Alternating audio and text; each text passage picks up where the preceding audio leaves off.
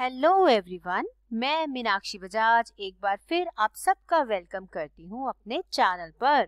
मुझे उम्मीद है कि अभी तक आप मेरे चैनल को सब्सक्राइब कर चुके होंगे और सारे वीडियो लेक्चर अच्छे से सुन रहे होंगे। आज हम डिस्कस करने वाले हैं part five of types of organisational structure जो कि है नेटवर्क स्ट्रक्चर ये एक बहुत ही इंटरेस्टिंग और इम्पोर्टेंट टॉपिक है। इसे समझाने के लिए मैंने केस स्टडी और एग्जाम्पल्स इस लेक्चर में इंक्लूड की हैं। तो आइए स्टार्ट करते हैं आज का लेक्चर लेकिन जैसे मैं हमेशा कहती हूँ with lots and lots of positive energy my dear learners अगर अभी तक आपने प्रीवियस पार्ट्स नहीं देखे हैं तो आप उनको पहले ज़रूर सुन लीजिए, तभी आपको नेटवर्क स्ट्रक्चर अच्छे से समझ आएगा। चैनल को भी सब्सक्राइब करना मत भूलिए, क्योंकि एजुकेशन जो है, उसे सब्सक्राइब करना आपका राइट है और आपको ज़रूरत भी है। और अगर लेक्चर सुनने के बाद सारा टॉपिक अच्छे से समझ आ जाए तो एक लाइक ज़रूर कीजिएगा। तो स्टार्ट करते हैं मीनिंग के साथ। नेटवर्क स्ट्रक्चर एक फ्लैट स्ट्रक्चर है। फ्लैट का मतलब होता है कि इसमें कोई भी हायरार्की फॉलो नहीं होती। सीनियर जूनियर वाला सिस्टम इसके अंदर फॉलो नहीं किया जाता। ये एक डिसेंट्रलाइज स्ट्रक्चर है। अगर आप डिसेंट्रलाइजेशन को डिटेल में समझना चाहते हैं तो उसका वीडियो लेक्चर मेरे चैनल पर अवेलेबल है। तो जब पार को डिस्ट्रीब्यूट कर दिया जाता है अलग अलग लेवल्स पर अलग अलग लोगों के बीच में, उसको डिसेंट्रलाइजेशन बोलते हैं। और ये एक फ्लेक्सिबल स्ट्रक्चर है। फ्लेक्सिबल का मतलब होता है जिसे समय के हिसाब से बदला जा सकता है। नेटवर्क स्ट्रक्चर के अंदर मैनेजर्स को कोऑर्डिनेट करना पड़ता है, तालमेल बिठाना पड़ता है कई सारे पार्टीज़ के साथ। उन्हें कंट्रोल भी बनाए रखना पड़ता है इंटरनल ऑर्गेनाइजेशन और बाहर की कंपनीज़ के साथ, क्योंकि ये एक नेटवर्क है, इस कारण से नंबर ऑफ़ रिलेशनशिप्स बहुत ज़्यादा होती हैं। ये एक यूनिक स्ट्रक्चर है, यानी नया स्ट्रक्चर है। इसे मॉडर्न स्ट्रक्चर भी बोला जा सकता है। इसके अंदर जो कंपनी है, वो कई सारे कॉन्ट्रैक्ट्स करती है, जिसके अंदर वो अपने फ़ंक्शंस दूसरी कंपनी से परफॉर्म करवाती है। इसे आउटसोर्सिंग बोला जाता है। मैं दोबारा समझाती हूँ। जब एक कंपनी अपने कई काम दूसरी कंपनी से करवा लेती है, खुद करने की बजाय उसको बोला जाता है आउटसोर्सिंग तो नेटवर्क स्ट्रक्चर के अंदर बहुत सारे कामों की आउटसोर्सिंग की जाती है। तो जैसे कि मैंने बताया, इसके अंदर आउटसोर्सिंग होती है। इसका मतलब कंपनी को कई जगह पर इंटरेक्शंस करनी पड़ेंगी। कई जगह पर बातचीत करनी पड़ेगी। बातचीत होगी ऑर्गेनाइजेशनल लेवल पे भी और इंडस्ट्री लेवल पे भी। ऑर्गेनाइजेशनल लेवल का मतलब होता है कि विद इन अ कंपनी भी कई सारे नेटवर्क्स होंगे और कंपनी के दूसरी कंपनीज़ के साथ भी कई सारे नेटवर्क्स हो सकते हैं। इंडस्ट्री लेवल पे कंपनी ये देखेगी कि मैं किससे अपना काम करवाऊं तो मुझे फ़ायदा हो जाएगा। कई बार कंपनीज़ टेक्नोलॉजी से टाई अप करती हैं। कई बार अगर कोई नई कंपनी से उन्हें लगता है काम करवाने पर मेरे को बचत हो सकती है और काम भी बढ़िया हो सकता है। तो कंपनीज़ दूसरी ऐसी कंपनीज़ के साथ भी टाई अप कर लेती है। नेटवर्क स्ट्रक्चर को अच्छे से समझने के लिए मैं आपको एक केस स्टडी अभी समझा देती हूँ। नेटवर्क स्ट्रक्चर को बाउंड्री लेस स्ट्रक्चर भी बोला जाता है। बाउंड्री लेस का मतलब होता है जिसकी कोई भी सीमा ना हो। इसका ये मतलब हुआ कि जब एक कंपनी नेटवर्क स्ट्रक्चर को फॉलो करेगी तो वो अपने आप को किसी भी सीमा में नहीं बांधेगी। कौन सा फ़ंक्शन बाहर से करवाना है? कितने फ़ंक्शंस बाहर से परफॉर्म करवाने हैं? ऐसी कोई भी सीमा नहीं फॉलो की जाएगी। तो हमारी केस स्टडी है एच एंड एम कंपनी के बारे में। ये एक स्वीडिश कंपनी है, जो कि मल्टीनेशनल कई सारे देशों में काम करती है। इनका इनका काम है कपड़े का। यानी ये कपड़े बेचते हैं जेंट्स के, लेडीज़ के, टीनेजर्स के और बच्चों के भी। अगर हम डेटा की बात करते हैं तो 2019 तक H and M company 74 countries में अपना माल बेचती है। एच एंड एम ने बाउंड्री लेस नेटवर्क को फॉलो करते हुए अपने कई सारे फ़ंक्शंस जो हैं, वो दूसरी कंपनी से करवाए हैं। यहाँ तक कि जिन कंपनी से उन्होंने काम करवाए हैं, वो भी अलग अलग कंट्रीज़ की कंपनीज़ हैं।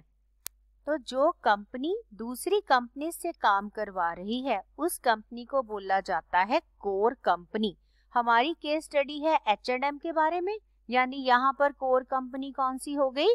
एच एंड एम तो एच एंड एम एक ऐसी कंपनी है जिसकी अपनी कोई भी फैक्ट्री नहीं है।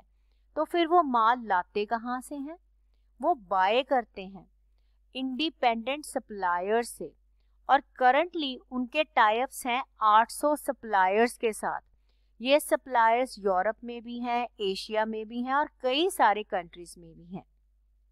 इसके अलावा एच एंड एम जिससे भी माल खरीदती है, उसको कमिट कर देती है, उसको प्रॉमिस कर देती है कि आप जितना भी प्रोडक्शन करोगे, सारी प्रोडक्शन हम खरीद लेंगे। जैसे कि उन्होंने बांग्लादेश और कंबोडिया की कई सारी फैक्ट्रीज के साथ ऐसा टाइप किया कि लगातार पाँच सालों तक आप जितना माल हमारे लिए बनाओगे, हम सारे का सारा खरीद लेंगे। अब यहाँ से हमें क्या समझ आ रहा है? हमें ये बात क्लियर हुई कि एच एंड एम ने अपने प्रोडक्शन फ़ंक्शन को खुद परफॉर्म नहीं किया। उन्होंने एक नेटवर्क बनाया 800 इंडिपेंडेंट सप्लायर्स का, जो कि अलग अलग देशों के थे, और उनसे अपना काम सारा करवा लिया। अब इसे बाउंड्री लेस क्यों बोला गया? देखिए एच एंड एम ने इतने सारे कंट्रीज़ जैसे कि आप स्लाइड के अंदर देख रहे हैं, मैंने 16 कंट्रीज़ के नाम लिखे हैं तो एच एंड एम ने अपनी साइट के ऊपर ये सारे नाम लिख रखे हैं।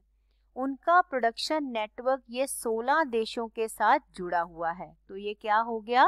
ग्लोबल नेटवर्क तो इस तरीके से आपको ये समझ आया कि जब एक कंपनी अपना एक फ़ंक्शन जैसे कि हमारी केस स्टडी में प्रोडक्शन फ़ंक्शन की बात हो रही है, दूसरी कंपनी से करवाती है जो कि किसी और देश में होती हैं, उसे बोला जाता है नेटवर्क स्ट्रक्चर तो माय डियर लर्नर्स अगर आपको टॉपिक समझ आ रहा है और केस स्टडी सुन के नॉलेज भी बढ़ी है तो लेक्चर को लाइक करना मत भूलिए। चैनल को भी सब्सक्राइब कीजिए, ताकि आप लगातार ऐसे ही लेक्चर सुनते रहें और अपने सपनों को साकार करते रहें। और शेयर भी ज़रूर कीजिएगा। अब जैसे कि आपने केस स्टडी में देखा कि एच एंड एम तो एक मल्टीनेशनल कंपनी है जिसने अपना नेटवर्क इतने सारे देशों में फैला लिया। तो इसका मतलब ये नहीं कि हर एक कंपनी अपना नेटवर्क ढेर सारे देशों में रखेगी। अगर एक कंपनी चाहे तो एक ही देश के अंदर अपना नेटवर्क बना सकती है अलग अलग कंपनीज़ के साथ, या एक ही स्टेट के अंदर भी बना सकती है। चाहे तो एक ही शहर के अंदर भी बना ले। तो कंपनीज़ ये क्यों करती हैं? कंपनीज़ करती हैं अपनी कॉस्ट को रिड्यूस करने के लिए। या यूँ कहूँ, अपने प्रॉफिट्स को बढ़ाने के लिए। अब हम डिस्कस करेंगे एडवांटेजेस और डिसएडवांटेजेस नेटवर्क स्ट्रक्चर की। और ये समझाने के लिए मैंने एक एग्ज़ाम्पल आपके साथ डिस्कस करनी है। एग्ज़ाम्पल है दो डिजाइनर्स के बारे में। वो दोनों डिसाइड करते हैं कि हम अपनी एक फ़ैशन डिज़ाइनिंग कंपनी बनाएँगे और लेडीज़ के क्लोथ्स बनाएँगे। लेकिन ओनर्स चाहते हैं कि हम अपना सारा ध्यान यूनिक डिज़ाइन के ऊपर ही रखें और बाकी के काम की सिरदर्दी हम ना लें। कहने का मतलब ये है कि वो नहीं चाहते कि उनकी इन्वॉल्वमेंट हो मैन्युफैक्चरिंग के काम को मैनेज करने के लिए। साथ ही साथ वो ये भी नहीं चाहते कि वो ढेर सारी शॉप्स खोलें और हर एक शॉप में काफ़ी पैसा लगा के शॉप्स को मैनेज करें। लेकिन अगर मैन्युफैक्चरिंग नहीं करेंगे तो माल बेचेंगे कहाँ से? पर इसका हल है। इसका हल है नेटवर्क स्ट्रक्चर तो चलिए देखते हैं इन दोनों डिजाइनर्स ने अपना नेटवर्क स्ट्रक्चर कैसे बनाया। तो कंपनी हो गई यहाँ पर कोर कंपनी जिसने डिसाइड किया फ़ंक्शंस आगे आउटसोर्स करने का। चार फ़ंक्शंस उन्होंने आउटसोर्स किए। सबसे पहला प्रोडक्शन फ़ंक्शन प्रोडक्शन के लिए उन्होंने डिसाइड किया कि हम मैन्युफैक्चरर्स जो गुजरात के और लुधियाना, यानी पंजाब के हैं, उनसे अपना काम करवाएँगे। ट्रांसपोर्टेशन के लिए उन्होंने एक कंपनी को हायर किया, जिसका काम था स्टॉक को सब जगह पहुंचाना पूरे इंडिया में। अकाउंटिंग के लिए उन्होंने दिल्ली की एक अकाउंटिंग फर्म को हायर किया, जो उनके सारे अकाउंट्स, सैलरीज, फाइनेंस, सबका डाटा मैनेज करेंगे। और कस्टमर की कंप्लेंट्स भी तो आ सकती हैं। उसके लिए उन्होंने कॉल सेंटर की सर्विसेज़ ली बेंगलुरु की एक कंपनी से। इस तरीके से उन्होंने चारों फ़ंक्शंस को आउटसोर्स किया। लेकिन ध्यान से देखिए, यहाँ पर आउटसोर्सिंग विद इन इंडिया ही हो रही है। तो अब नेटवर्क स्ट्रक्चर की मदद से कंपनी फोकस कर सकती है सिर्फ़ और सिर्फ़ डिज़ाइनिंग के ऊपर। और फाइनेंस रेस करने के ऊपर। बाकी के सारे काम उन्होंने दूसरी कंपनी से करवा लिए। इसे ही बोला जाता है नेटवर्क स्ट्रक्चर उनका चार कंपनीज़ के साथ नेटवर्क बन गया। तो इस तरीके से अपने मन चाहा तरीका यूज़ करते हुए कंपनी अपना बिज़नेस भी चला पाएगी और सक्सेस की तरफ़ भी जा पाएगी। तो अब आपको समझ आया होगा कि किस तरीके से नेटवर्क स्ट्रक्चर को फॉलो किया जाता है। तो एडवांटेजेस सबसे पहले एडवांटेज ये हुई कि अब कंपनी अपना सारा ध्यान दे सकती है नए नए डिज़ाइन बनाने के ऊपर और बाकी का सारा काम दूसरों से करवा सकती है। दूसरा फ़ायदा आउटसोर्सिंग का ये होगा कि कंपनी सिर्फ़ और सिर्फ़ उसी काम के ऊपर ध्यान देगी जो उसकी स्पेशलिटी है और कॉस्ट भी कम होएगी और क्वालिटी ऑफ़ सर्विस भी इम्प्रूव होगी, क्योंकि जिस कंपनी को जो काम आता है, उससे वही काम करवा लिया जाएगा। कंपनी एक फ्लेक्सिबल पोजीशन पे है। अगर उसको लगे कि इस कंपनी की प्रोडक्शन का तरीका पुराना है तो वो उसको छोड़ के नई कंपनी से टाई अप कर सकती है। इस तरीके से काम भी चलता रहेगा और मशीनों के ऊपर या बाकी सर्विसेज़ के ऊपर कंपनी को ज़्यादा पैसा इन्वेस्ट नहीं करना पड़ेगा। अब ध्यान से सोचिए, जिस तरीके से उन्होंने अपना काम दूसरी कंपनीज़ को दे दिया तो हो सकता है काम में देरी हो जाए। या जिस दिन माल चाहते हैं, दूसरी कंपनी उस दिन वो काम ना कर पाए। और कभी कभी ये देखा गया है कि जिनको कॉन्ट्रैक्ट दिया जाता है, वो डेलीबरेटली यानी जानबूझकर स्लो काम करते हैं। और कभी कभी सब कॉन्ट्रैक्टर्स क्वालिटी भी घटिया सप्लाई कर देते हैं। यानी कि अब मेरा इशारा है डिसएडवांटेजेस की ओर। जैसे जैसे नेटवर्क स्ट्रक्चर बढ़ता जाता है, उसको मैनेज करना मुश्किल होता जाता है। और कभी कभी पार्टनर्स के बीच में कंफ्लिक्ट आ जाता है, मतभेद आ जाता है, क्योंकि हर बार कम्युनिकेट करना, बातचीत करना इस हद तक पॉसिबल नहीं हो पाता। जिस तरीके से आपने एग्ज़ाम्पल में देखा कि अकाउंटिंग का काम भी बाहर दे दिया गया था तो हो सकता है कि कुछ सीक्रेट इंफॉर्मेशन ये कंपनी कंपिटिटर्स को बेच दे। या कंफ्लिक्ट ऑफ़ इंटरेस्ट जब हो तो आपस में ही लड़ाई झगड़ा हो जाए, जिससे कंपनी का कॉन्ट्रैक्ट कैंसिल हो जाए और समय पर चीज़ें ना मिल पाए।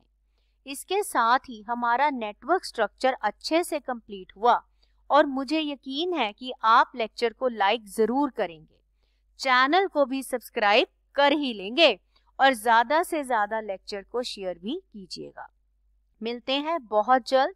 और अगले लेक्चर में मैं आपको एक और स्ट्रक्चर डिस्कस करूँगी। तो मैं मीनाक्षी बजाज एक बार फिर से आप सबको विश करती हूँ all the best and enjoy learning मिलते हैं बहुत जल्द।